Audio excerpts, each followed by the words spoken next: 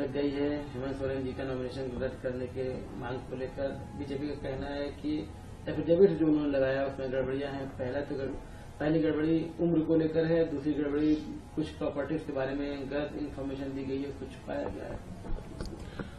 देखिए हम लोग कुछ न छुपाते हैं न कुछ छुपाने की कोशिश करते हैं। जो भी है क्रिस्टल क्लियर है। सब कुछ साफ़ है दस्तावेज़ लगे हुए हैं। दस्तावेजों से ही मिलान होता है वेरीफाई होता है।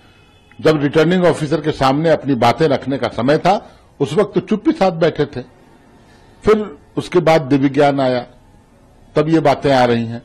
अरे, मैं सुझाव दूँगा आपके चैनल के माध्यम से कि जीत हार होती है। एक बहुत बड़ी पराजय आपके सामने दिख रही है। तो मानसिक संतुलन मत खोइए। पॉलिटिकल स्पिरिट रखिए। हार जीत लगा रहता है। लेकिन भाजपा के लोग विचलित हो गए हैं। इनका मानसिक संतुलन गड़बड़ा गया है।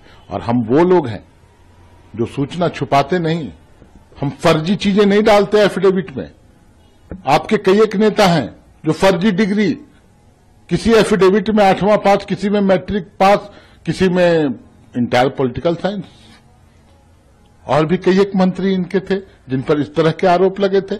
एक सांसद भी हैं, झारखंड के जो मात्र 12 साल की 10 साल की उम्र में वो मैट्रिक भी पास कर जाते हैं तो बहुत सारी ऐसी बातें हैं जो उनको शोभा देती हैं। वो लोग इस तरह की चीज़ें करते हैं, हम वैसी चीज़ों को न प्रश्रय देते हैं, न हम वैसा करते हैं। प्रधानमंत्री